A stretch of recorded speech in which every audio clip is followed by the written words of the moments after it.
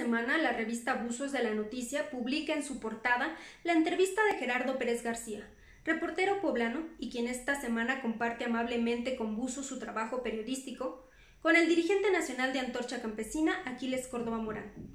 En la entrevista, realizada en Tecomatlán, la cuna de Antorcha, el líder social aseguró que el gobernador poblano, Miguel Barbosa, está en abierta campaña contra Antorcha Campesina, a quien busca linchar y crucificar sin prueba alguna, sin ningún sustento. Aseguró que Barbosa solo repite lo que le ordenan decir desde la Ciudad de México. Pero antes de condenar con temerarias acusaciones, dice Córdoba Morán, el mandatario poblano debería tomarse la molestia de indagar y verificar si es cierto el enriquecimiento de los dirigentes antorchistas en esa entidad.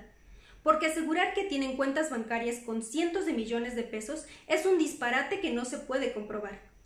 Y es que tal parece que en Puebla se viven los tiempos de la Santa Inquisición. Es decir, que quien cae en sus manos y entra en su tribunal ya no sale vivo. Para el líder del movimiento antorchista, su organización y sus dirigentes en todo el país no tienen nada que esconder, ni ocultar, mucho menos cuentas bancarias con millones y millones de pesos. Tampoco poseen ranchos, edificios, residencias en México o en el extranjero. Así las cosas, Aquiles Córdoba Morán retó al presidente de la República, Andrés Manuel López Obrador, a Santiago Nieto y al gobernador poblano Miguel Barbosa a que demuestren con documentos reales, no inventados o creados ex profeso, que los dirigentes de Antorcha se han enriquecido con dinero y prebendas otorgadas por el gobierno estatal o federal.